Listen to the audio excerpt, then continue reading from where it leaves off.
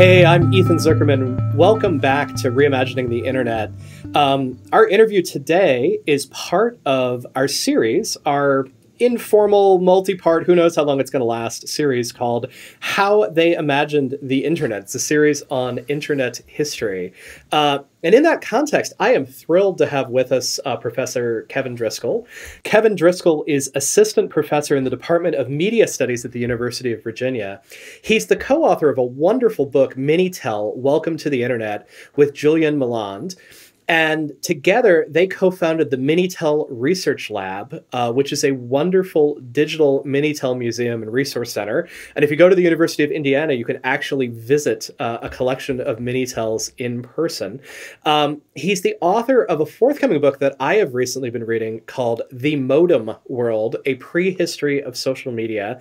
And he is someone who has really spent his academic career fascinated uh, by what we might call Jurassic Internet tech. Kevin, welcome to the show. Thank you for having me on. So, uh, and, and I'm noticing over your shoulder uh, some of said Jurassic Internet tech. I, I am a fan of this era of computing as well. For me, it is a bit of a nostalgia trip. I have a, a Commodore PET in the other room that I learned to program on in the early 1980s. What got you fascinated with sort of what we might think of as internet prehistory? Um, mm-hmm. Minitel, which obviously you, you didn't grow up with, uh, but also the, the BBS culture of the 1980s. What made this a research interest for you? Well, I started off having a bit of a personal interest just in the joy of learning about myths and folklore to do with uh, early internet.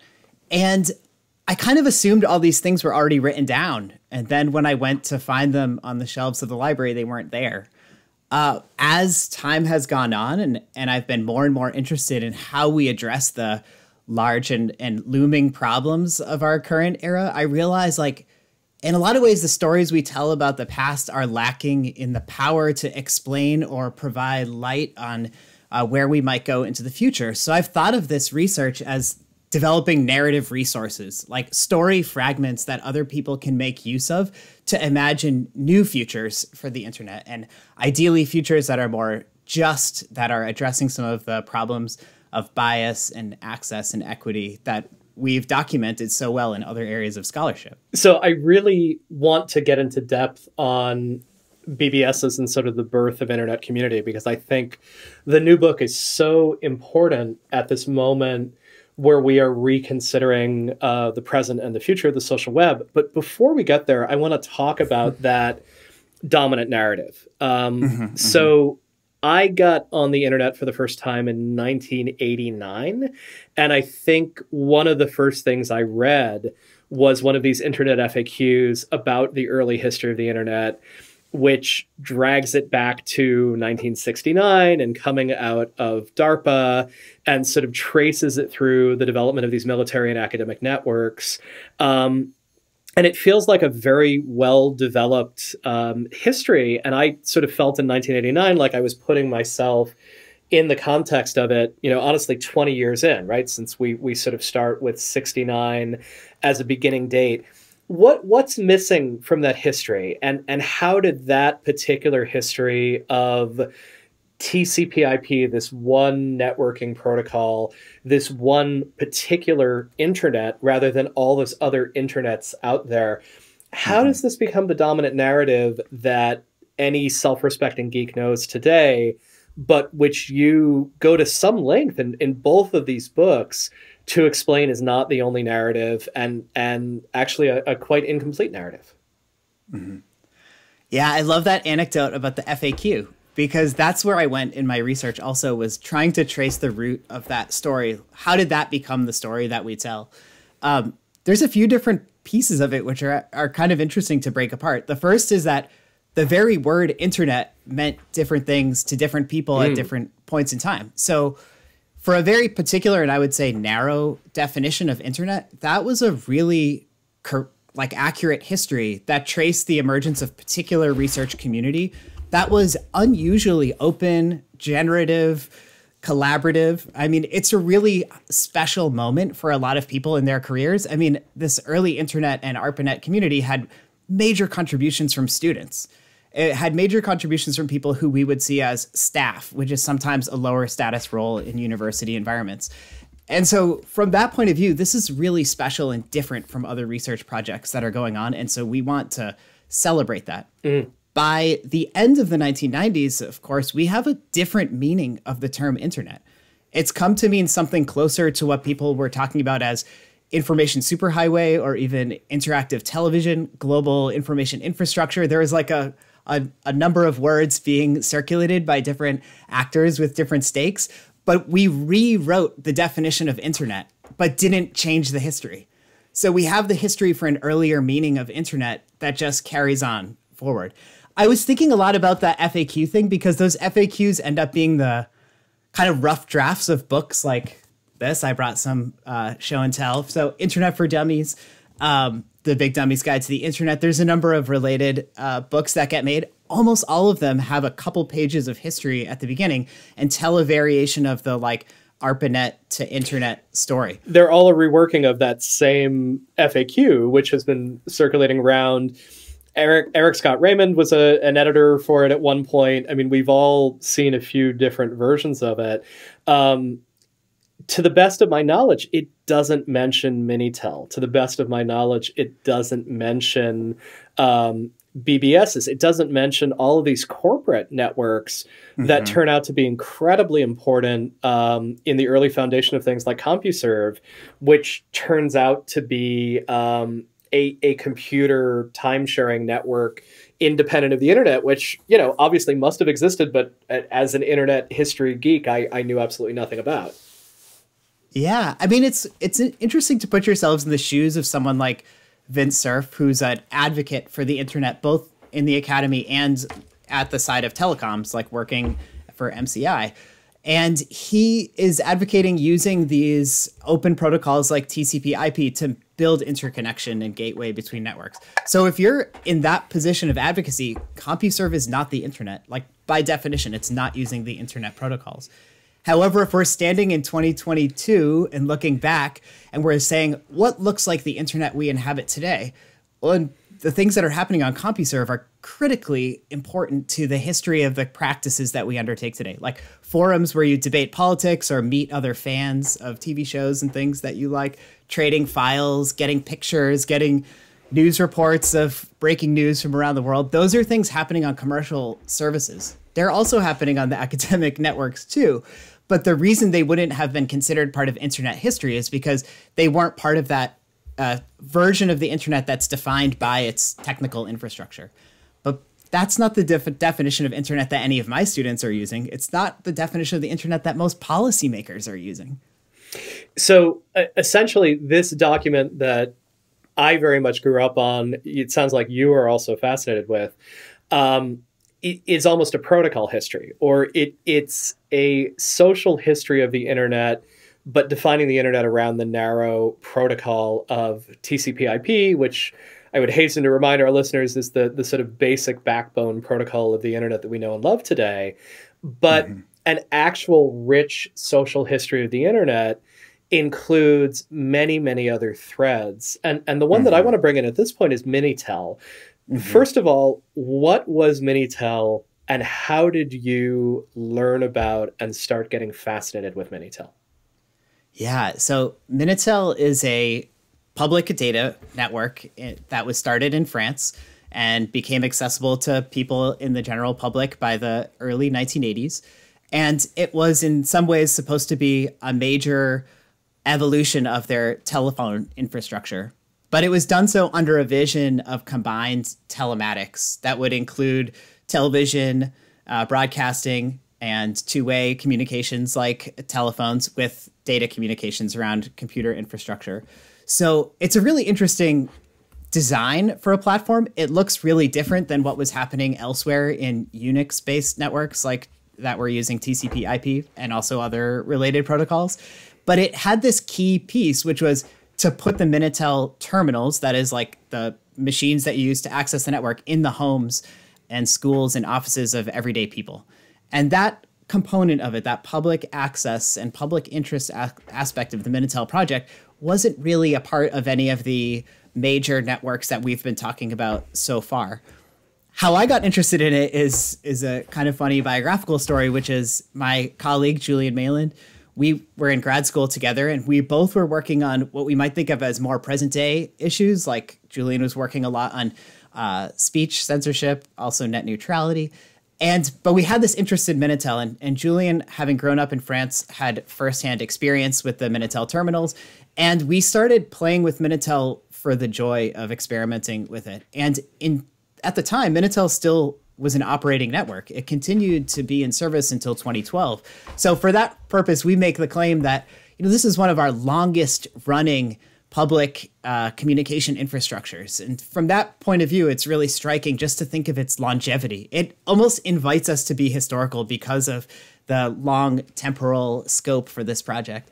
Um, but at the time, Minitel was kind of like e waste in France. And so anytime that Julien would visit his family, he would bring back some Minitel hardware in his carry-on luggage. And we started to build a collection and document our experiments uh, uh at the Minitel Research Lab website, which was intentionally tongue-in-cheek. The full name is Minitel Research Lab USA, and the URL is minitel.us. Because it was so odd that we would be looking at it from the, the living in Southern California at the time but then as we work were working on it, it, we realized how frequently the experiences of people on Minitel spoke directly to some of the problems that we were working on. And we started to see Minitel as a real working case study that provided an alternative example to the web and to other social media systems. We didn't have to invent it or come up with hypotheticals or draw uh, some kind of you know fictional case study. We had a system that was really used by millions of people day in and day out for years and we should be we should be able to have those kinds of case studies richly laid out so that we can use them for comparison and contrast with some of the systems we rely on today i i love this notion of um, minitel as sort of a longue durée you know technical history mm-hmm. that that having three full decades there um, and thinking back to 82 i mean 82 is amazingly early mm-hmm. in um, particularly tech in the home. And mm-hmm. I, please correct me if I'm wrong here. I, I Minitel was um, not necessarily very costly to use, although it did have a cost per minute. But I think the hardware was provided gratis, um, almost as if you would give people a telephone directory. Is that correct? Yeah, they thought thought about this as like a chicken and the egg problem. That the platform, as we characterize it, is a public infrastructure for private innovation. So this most of the services on Minitel are provided by private people or organizations. And then most of the users are also private. And then it's the network in the middle that's managed by the state. And so to have anybody make a service, there has to be users. And to get any users, you need some services. So they found a way to both provide local manufacturers with a huge contract and to provide people with access to low cost access to to this um, system by making a very affordable to produce um, standard terminal that was a screen, a keyboard, and a modem that fit into a very nice box and was made to look good and look appropriate in your home in the early 1980s. So it has like this brown molded plastic. It has a handle on top that you can carry. You, they kind of imagine you're going to stick it in a cupboard when you're not using it and you could get it for free. It took a few years to roll out. So between say 82 and 86, it gradually becomes available nationwide and you would pick it up at the post office. This is a, you know, state agency providing access. It was costly to use per minute and that limited the number of people who could really get deeply into all of the nooks and crannies of Minitel.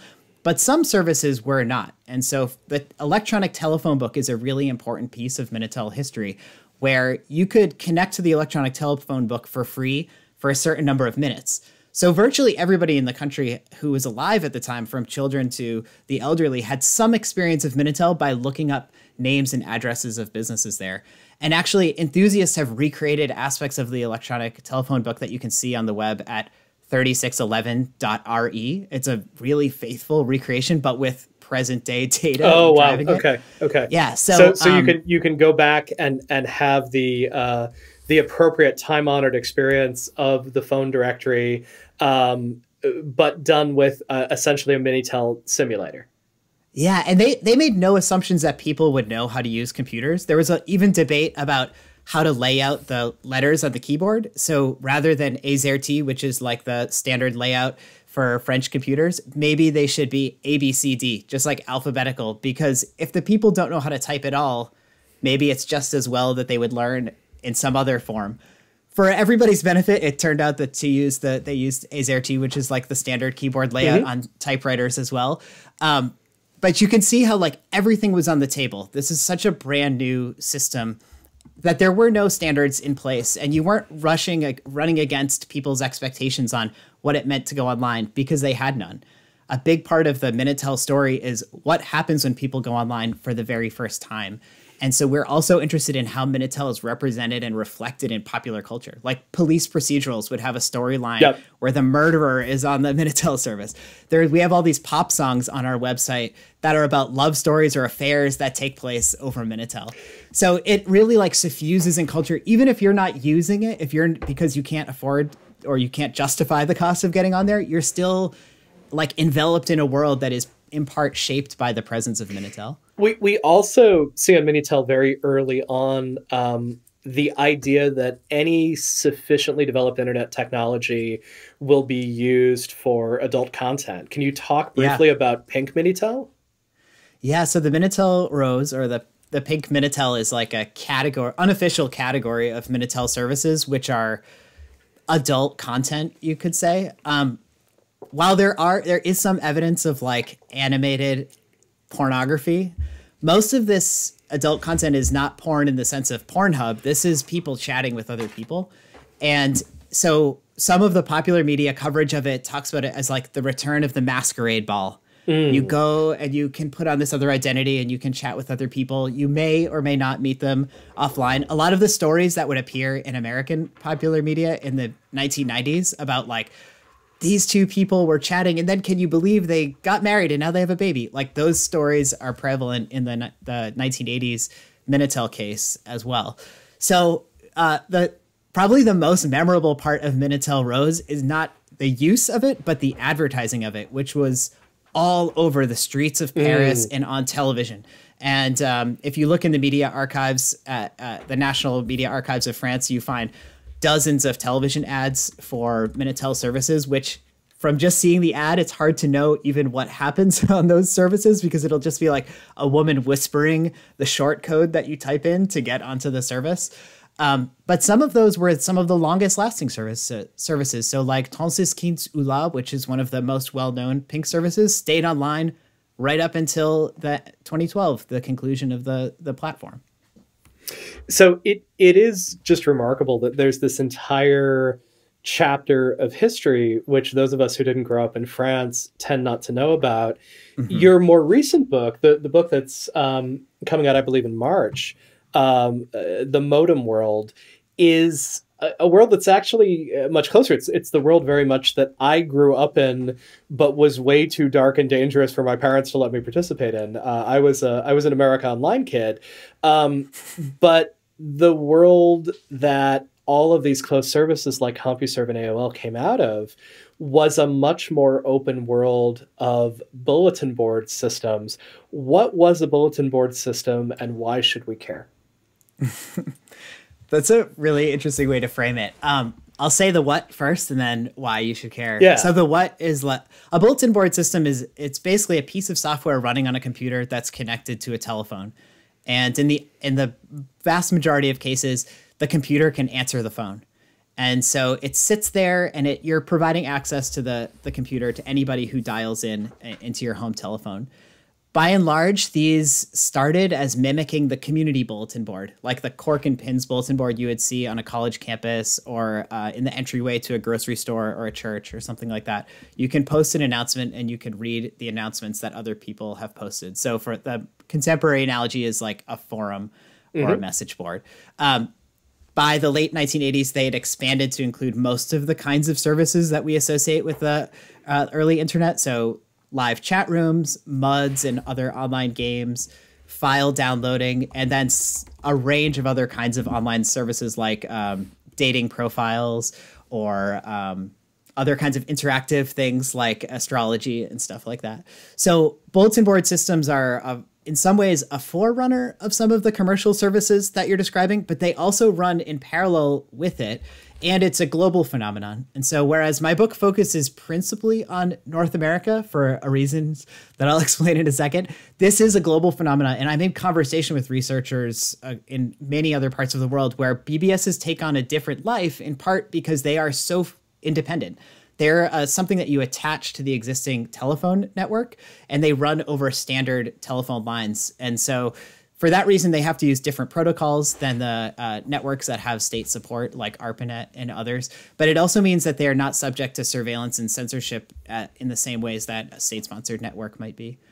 One reason that I focus on North America is because of my experience talking about the Minitel work, which is lots of folks who are familiar with the dominant mythology of, of the internet would say, like, oh, it's so great to read Minitel because now we have this French story and that like complements the story from North America. And I was like, but we also don't really have the full story of what all was happening on this side of the world at the same time. Um, in in many ways, because that standard ARPANET to web story leaps over at least 10 years of activity, where a lot of the action is on bulletin boards and related commercial services. Yeah, so so let's let's start by kind of reminding people what computing looks like in the 1980s because that, that's really where this book focuses.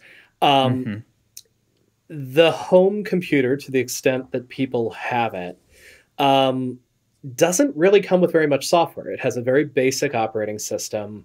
Most of these machines have um, an interpreter, often for BASIC. Um, mm-hmm. There's a decent chance that if you have one of these machines, you may be trying to teach yourself basic or some other programming language. You may be entering in software that is printed in a magazine. And so mm-hmm. you go down to the bookstore, buy the magazine, and enter in as carefully as you can um, these programs. It's very, very difficult to move data from machines. The dominant um, mechanism for moving data from machine to machine is via cassette tape where mm-hmm. you're literally recording e or e or as ones and zeros that can be played back to load a program if you're very very lucky.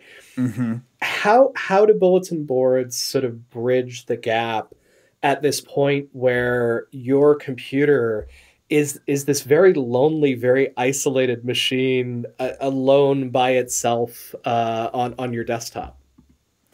Yeah, let me add a couple details also to that, yeah. that really rich historical portrait. One is that the machines really don't come with any hardware for networking, mm-hmm. which is something that's like so outside of the norm for us over the last 10 or 20 years. The notion that you would buy a laptop without Wi-Fi is like preposterous because what else, what use is it if it can't connect to other computers? But of course, modems are not standard issue and neither are networking cards. Um, and so to the in terms of your priorities of what to buy, you'd probably buy like a printer and a joystick and another disk drive before you threw out the $200 to get a modem. So even among the minority of people who own home computers, those who also own a modem is like yet another subset and there is cultural reasons why you would be a modem owner. And so it becomes a kind of mark of distinction to even own a modem, to know why it's useful to have one in the first place. There's nothing like the media phenomena around Minitel where you're seeing the online world reflected back to you on television for bulletin boards. It's very much like a subcultural activity, and the buying a modem is your ticket to entry. You really need another person to show you them going online on their modem to know why you would buy one in the first place. So most bulletin boards are created it following on some offline relationships that already exist. So sometimes it's like a computer club or an after school program at a K 12 school or a local newspaper, magazine, fanzine, some kind of like print publication who builds like an online addition to the thing that they're doing.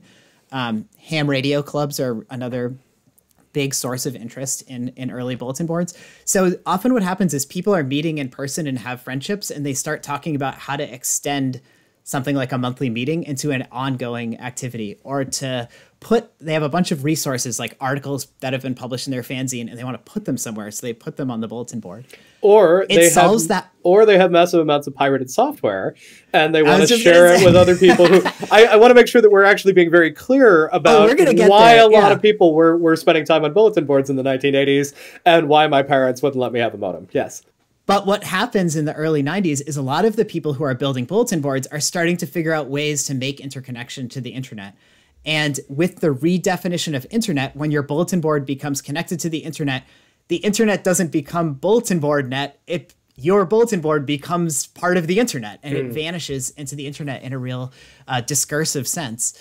Um, so what what happens is like I think for folks who are building the early web, they're used to having this like connection, whether it's WinSock or whatever, that's creating a, a packet switch connection to this network. And then they have a bunch of stuff that they run off it. They have like their email client, IRC, whatever. And the web is one more tool that sits on top of their TCP IP connection. It's not till later that the web is your like primary mode of accessing all of those other internet services. So initially the web serves the purpose of having homepages and hypertext and things like that. And bulletin board system operators, you know, they're used to bulletin boards serving multiple functions, but they're also used to this experience of like, it's always changing and you never know what you're going to get when you log in. There's all these ways that bulletin board system software reminds you of the existence of other people, even if the bulletin board is a single line system that can only accommodate one user at a time. It's telling you, here's how many people logged in today, here's the average time they were on, this person uploaded this file, this person posted nine messages, blah blah blah. So you you feel like you're in this lively system. Whereas websites didn't really do that particularly in the beginning. And it's I kind of argue through the book that it's the joining of the web and bulletin board systems that transforms the web into a social medium. It's the expectations of those long-term BBS users that hey, computers are here so we can talk to each other, trade files, get advice, argue about politics, whatever. So if you give us a new medium, we're going to adapt it to do that. Um, so, so yeah, one one very strong support for your argument is that, in addition to the sort of official accepted history of the internet, which we've established is a very incomplete and selective history, there's almost a sort of official here is why the web is important, here is why we should pay attention to the web.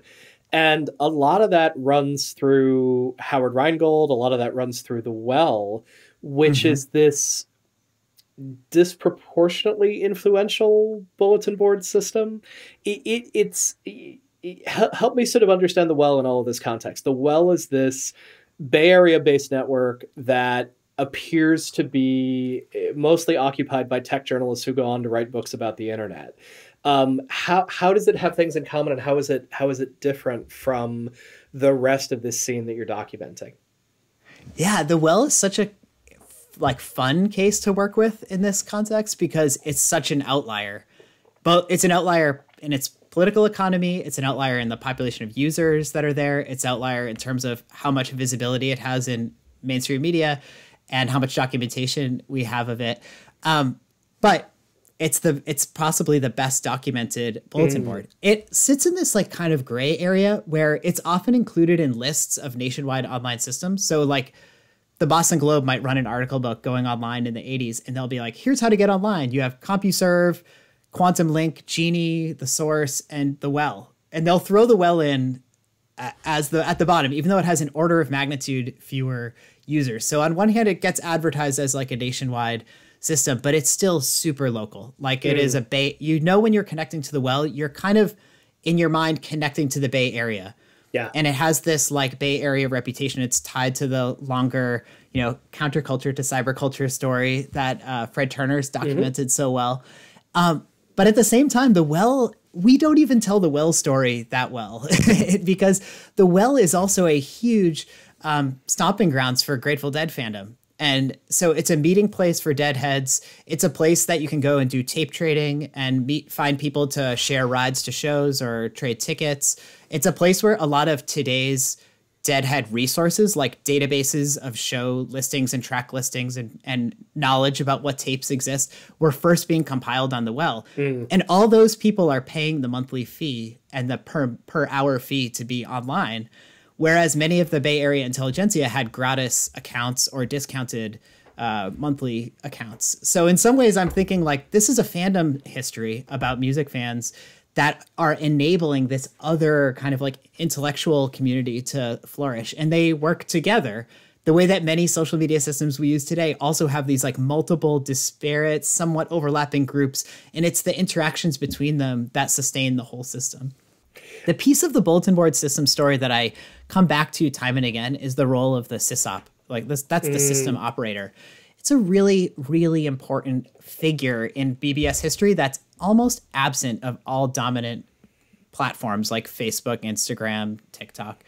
Those platforms, despite their uh, how huge they are, they imagine that there will be automated systems that handle the care work all the way down to the edges of the groups and the small communities and things that gather in those spaces, which is such an abdication of responsibility and in some ways is is so disrespectful to the work of community management that has been done over the years.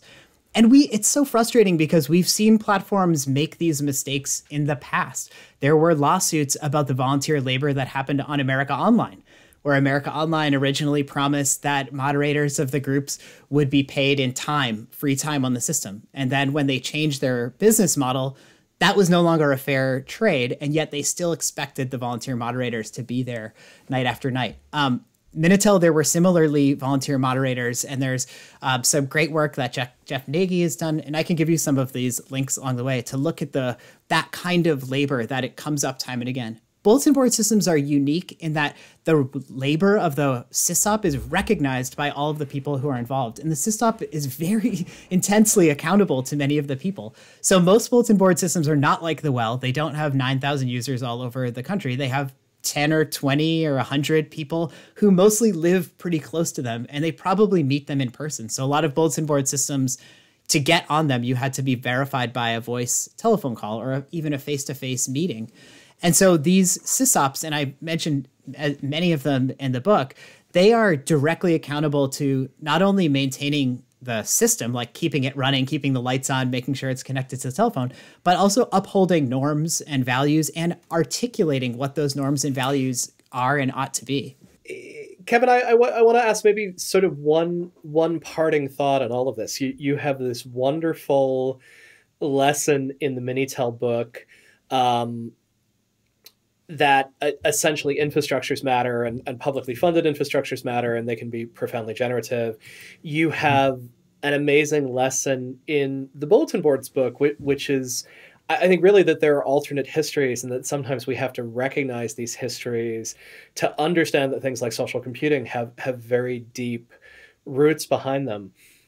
30 years from now, someone's going to write a book about this moment in computing any senses about what people are going to want to celebrate, want to understand about this particular moment? When when people come back and um, a young scholar in 2052 is looking at what I'm sure at that point will be the the earlier the Jurassic net. What do you think they're going to catch on to? What what do you think will be worth um, going back to and considering um, 30 years in the future? Yeah, that's a great question.